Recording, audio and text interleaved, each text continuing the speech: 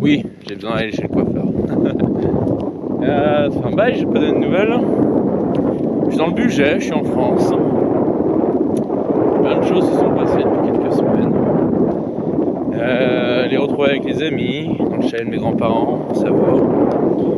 Euh, la préparation du, euh, de l'ascension du, du Mont Blanc, qui s'est vouée par euh, un échec en fait. C'est pas un échec plutôt.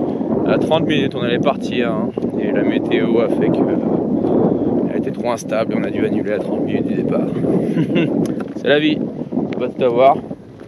Mais on s'est fait un beau 3008, 3008 avec un bivouac à 3100. Du coup, ça, on n'a pas, on n'a pas perdu euh, beaucoup au change. hein.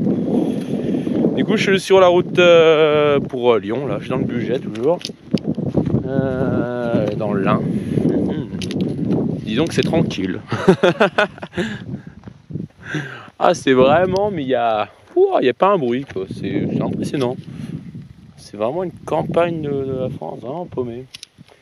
Moi, j'étais, j'ai passé trois nuits là-haut. Euh, c'est sur euh, un peu le plateau de appelle. Je, je me rappelle plus trop, je crois que c'était vers le col de la Biche. Bref. Il y avait un super plateau magnifique. J'ai eu du beau temps pendant deux jours, deux jours et demi. Et du coup, j'ai campé pendant deux jours et demi là-haut. J'ai, j'ai eu la bonne, euh, pensée de prendre un, kilo de farine. Du coup, j'étais au Chapati pendant trois jours. ah, c'était vraiment magnifique. Surtout que je suis grave en avance. J'ai dit à ma famille que j'arrivais le 8 octobre à Francheville. et, euh, et en fait, là, je vais trop vite. Je ralentisse. c'est marrant. Du coup, c'est pour ça que je suis passé trois nuits là-haut. Bon, bon, ça fait.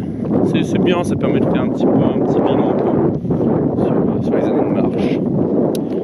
Et voilà. Que dire de plus? Moi, je vais là-bas. Droit, droit direction bah, le Rhône, Lyon, l'ouest lyonnais. ah, ça va faire bizarre. Mais bon, on n'y est pas encore. Peut-être encore 6-7 jours de marche. On verra comment ça va se passer.